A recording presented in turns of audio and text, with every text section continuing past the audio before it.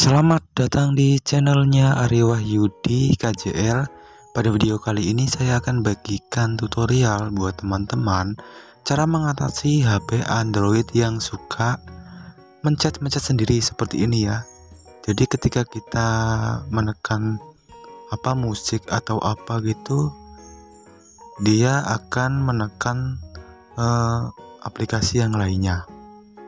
Dan caranya untuk mengatasinya sangat mudah sekali teman-teman. Simak video ini sampai selesai. Oke pertama-tama di sini teman-teman cek aja anti gores teman-teman. Apakah normal atau tidak? Atau TG nya ya teman-teman. Bisa teman-teman copot terlebih dahulu dan bisa dibersihkan dengan minyak kayu putih. Kalau misalnya belum bisa teman-teman bisa gunakan aplikasi ini ya Oke teman-teman di sini buka aja aplikasi Playstore-nya dan teman-teman cari aja aplikasi Partial Screen. Ya di sini sudah banyak sekali yang menggunakannya. Oke di sini kita langsung saja buka cara untuk menggunakan aplikasi ini kita buka aja.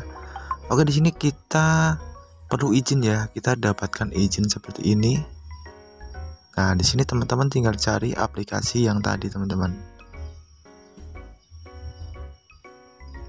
kita izinkan lalu kita kembali dan kembali nah oke di sini sedang memindai teman-teman ya jadi di sini kita tunggu sampai selesai ininya teman-teman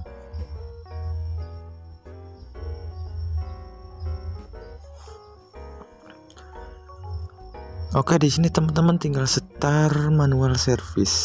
Nah, seperti ini. Ya, teman-teman. Dan di sini kita tinggal kembali. Dan di sini teman-teman bisa nikmatin aja apakah layarnya masih gerak-gerak sendiri atau tidak. Jadi kalau misalnya layarnya sudah normal berarti cara ini berhasil. Oke, selamat mencoba. Semoga bisa membantu dan bermanfaat. Salam tutorial.